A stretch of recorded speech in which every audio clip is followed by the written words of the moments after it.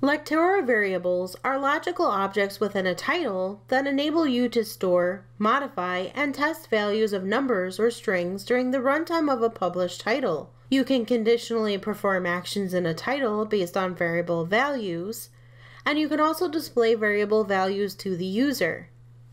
There are two types of variables, reserved and user-defined. Reserved variables are predefined and read-only, so they can be modified. They are items that are automatically included within your course and can be called upon at any time. By switching your title to AICC or SCORM compliant, you'll also see additional variables for interacting with your learning management system. User-defined variables need to be created and therefore can be edited at any time, giving you the ability to track and share almost anything in your course. Let's add a reserved variable to the course. From the Insert ribbon, select the Page Title option from the Add Text group. This adds a text block with an action attached. The action is an on-show action that changes the contents of the text block to the current page name. This is because Lectora has a reserved variable called current page name that holds the value of the current page name so it's always available. To see a full list of the variables available, navigate to the Tools ribbon and select the Variables option from the Manage group. This opens the Variable Manager. From here you can see the user-defined, reserved, and unused variables on different tabs. Navigate to the Reserve tab to see all the variables that Lectora comes with. Select each variable from the menu on the left and the name type and description will appear on the right. If the variable is being used, you can also see where it is in your title on the Variables Used box. From the Variables Manager, you can also view and create user-defined variables. A common example of user-defined variables is one which tracks the progress of a learner on a particular page in order to queue additional actions or content. In this example, the instructions page of the course is set up so the learner has to select the options on the screen before moving forward. So let's create a user-defined variable that will help us do this. From the screen, add a new variable by selecting the corresponding button. The upper right hand side of the screen is now accessible. Name the variable. Variable names cannot contain spaces and should make sense to the developer. I'm going to track the progress of the instructions page, so I'll name it after that. Select an initial value of the variable. This can be any combination of letters or numbers.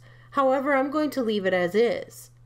Select the option to retain the value in between sessions or assign a random value as needed. Select OK to save the variable.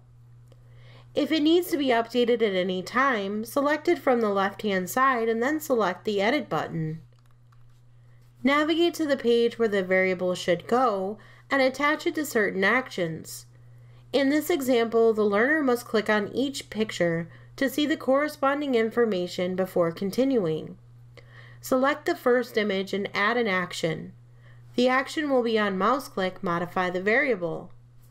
From the target, use the drop-down to find our instructions variable, then select the action which will take place. Set the variable equal to a value, set it as empty, add, subtract, multiply, or divide the variable, round the variable, or round the variable down. For this example, I'll add 1 to the variable. From here, repeat the steps with the rest of the content on the page. In this example, the variable value is being added by one whole value, as items are being selected from left to right. However, it will also work if the images are selected right to left or in a random order. To call on this value, add another action onto the page that can use the variable to dictate when an action will take place. At the page level, add an action that says on show, show the next button.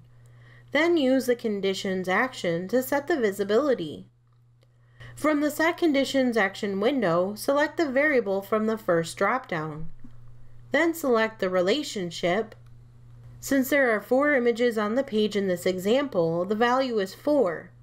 This means that each item has been selected and therefore the user can continue through the course. Select OK to exit the window and save your changes. The Else option is now available.